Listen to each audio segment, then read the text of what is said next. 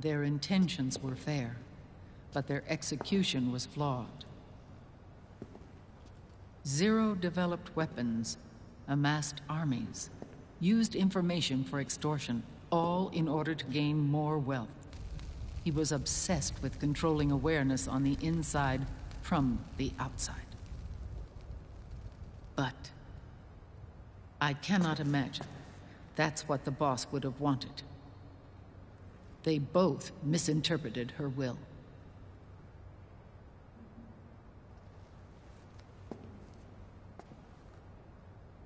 And their absolute reverence for her drove them apart. So began the war between Zero and Big Boss. Opposing interpretations, each striving to realize the boss's will. Everything you see today stems from their Cold War.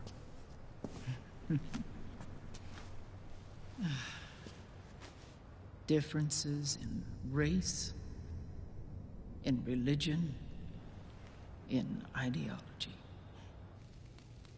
This war they've caused is no different from any other human error in history.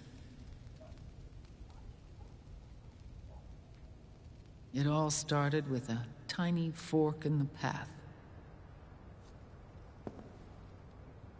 And grew into a great rift. There was nothing left of the boss's noble will in their struggle. All that remained was hatred, a passion to destroy one another. Big Boss returned to the U.S. with a plan in mind, and once again assumed command of Foxhound. In Outer Heaven, and then Zanzibar land, Big Boss plotted coup d'etat against Zero. But you, Solid Snake, his own clone, foiled his efforts both times. Big Boss and Gray Fox, Frank Jaeger, were left near death. Zero recovered their bodies. Frank Jaeger's entire body was reconstructed through surgery, and he was reborn as the cyborg ninja. Big Boss, now a vegetable, became a prisoner of Zero even in death. For Zero, more than anyone else, your father was an irreplaceable icon. No, the truth is, for Zero, he was an irreplaceable friend. After Big Boss's betrayal, Zero could no longer believe in something so uncertain as life. He lost his belief in everything nations, organizations, individuals. Zero was no longer willing to place his organization in the hands of the next generation. Instead, he set up a network of AIs, a decision making system formed from all the information he had accumulated. He built four AIs GW, TJ, AL, and TR as sort of a digital Mount Rushmore and one core artificial intelligence to unite them, John Doe. GW. The same GW we destroyed five years ago. The same. Ever since GW was cut off, JD and the other three AIs have controlled all information on every aspect of global society economics, politics, law, morals, and culture. The war economy is no exception. In the shadow of the system and its complete control over the world, Big Boss isn't allowed to live or die. He's trapped for eternity in a brain dead prison. To bind himself to his friend, to ensure his rule over the world, Zero transformed Big Boss into an icon, neither living nor dead. Sounds almost like a religion. Naturally, Ocelot and I plan to free him from Zero's prison we enlisted Naomi Hunter, an authority in the field of nanomachine research, into our organization. And we used Frank Jaeger to kill Dr. Clark. Ocelot tortured the DARPA chief, Donald Anderson, also known as Sigint, to death, and made it look like an accident. The Shadow Moses incident. With Paramedic and Sigint dead, Zero was the only one left. But we too paid a price. I lost Ocelot. Ocelot wasn't fighting for the Pentagon or the Russians, and certainly not for Zero. He was fighting for Big Boss. He idolized him.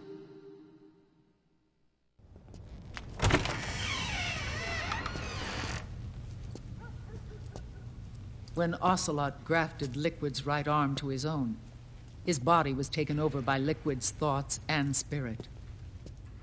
He may be Ocelot in physical form, but his mind is Liquid's. I was the last one.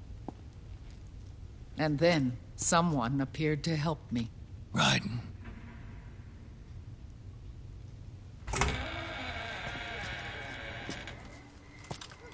It was when I met him that I finally discovered the location of Big Boss. It was in the data he obtained from GW. Together, he and I retrieved Big Boss. But Big Boss was still asleep, as Zero had left him. Why did Zero keep him alive?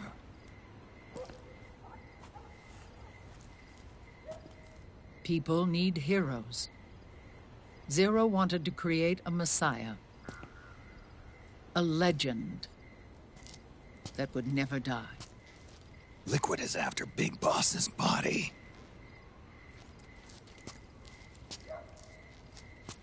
Is it here?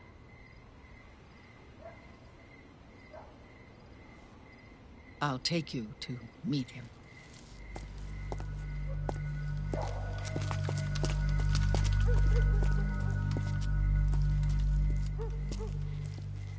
This is his pyx, his holy ark.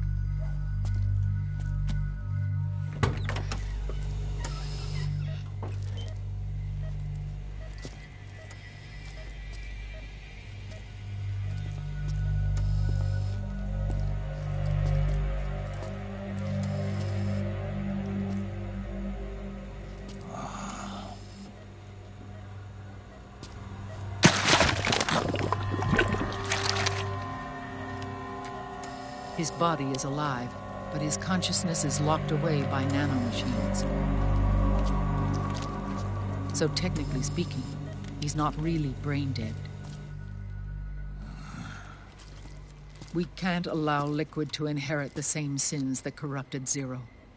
Manipulating people's minds for the sake of his own ego.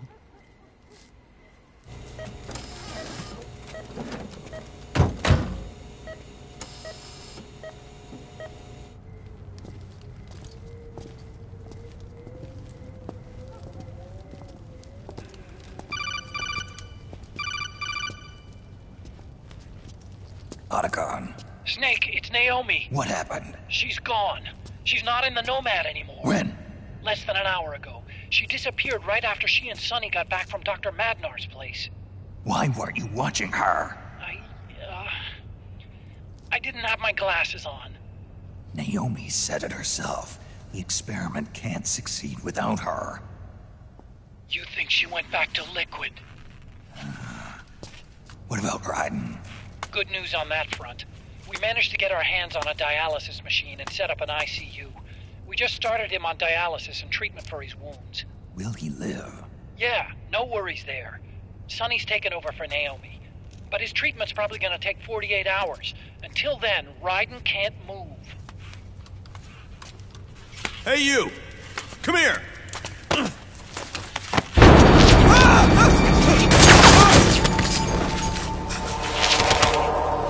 The hell is that? Move!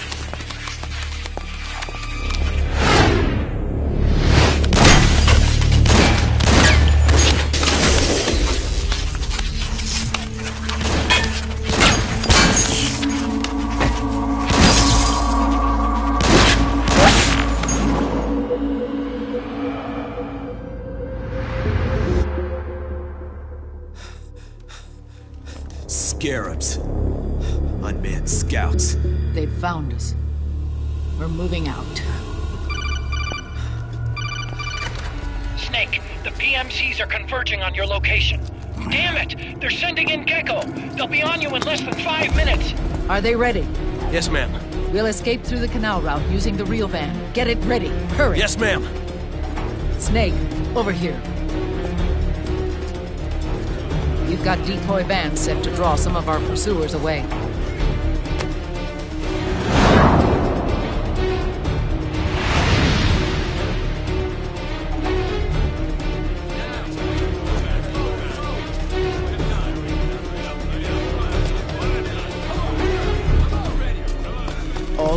Children were orphans.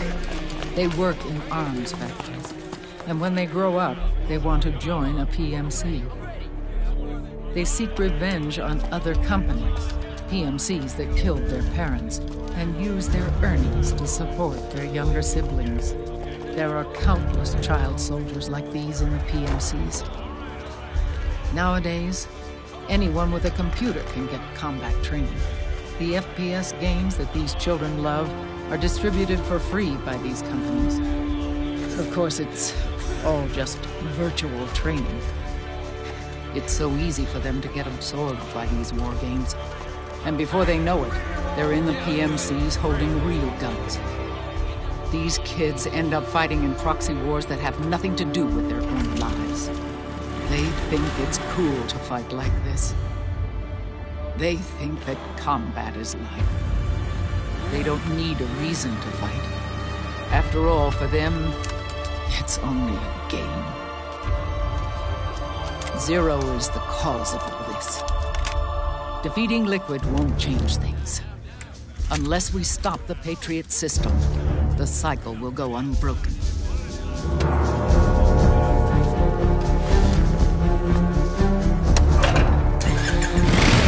Hop on.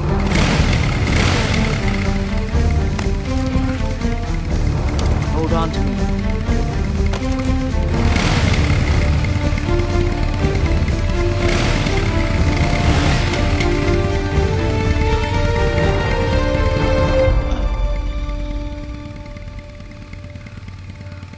With so many wars being waged, oil and biofuel have become as precious as diamonds.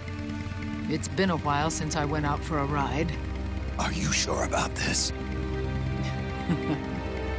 I only get off my bike when I fall in love.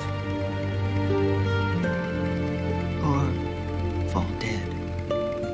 Big Mama. Call me Eva.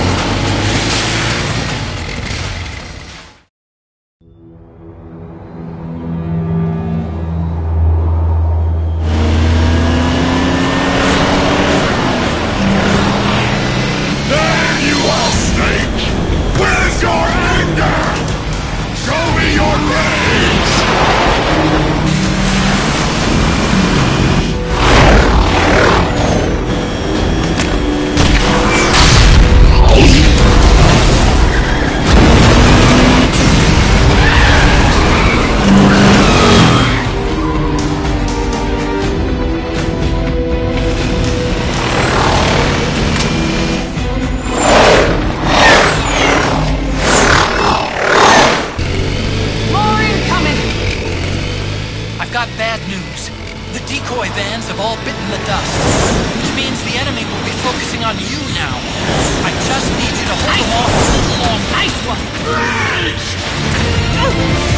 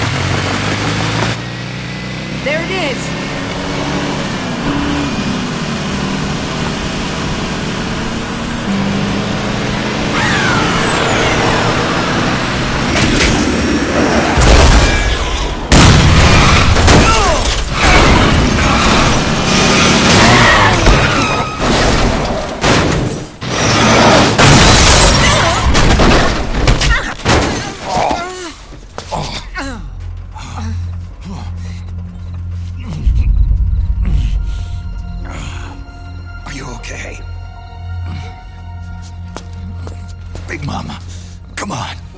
Stay with me. Eva, I need you. Oh, is that you? Snake.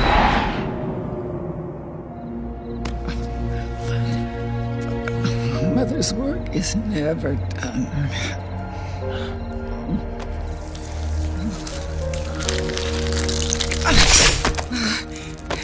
Mama.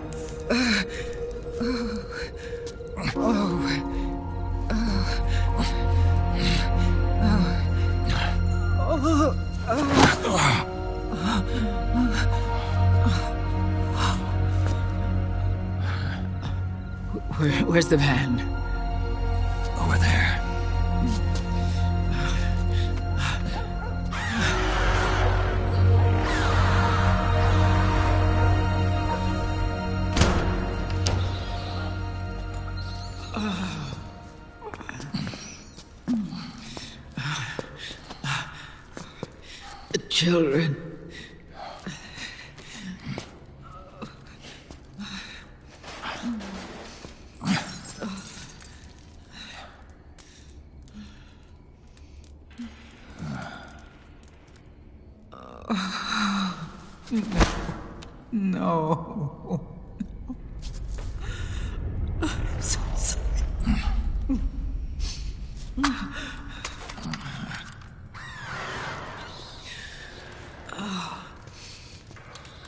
She'll be coming to search the van.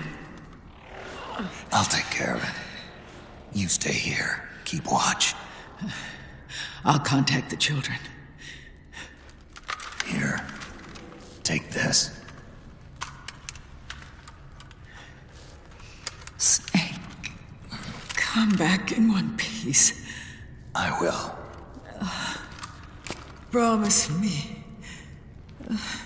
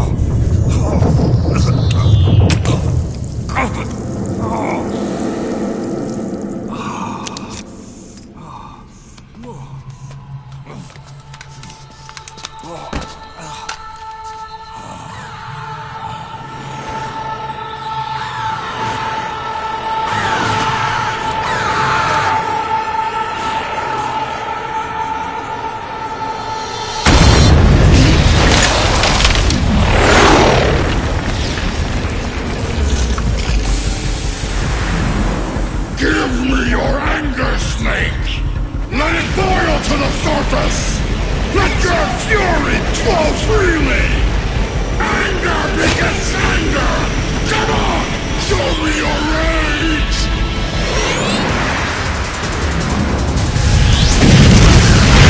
Oh.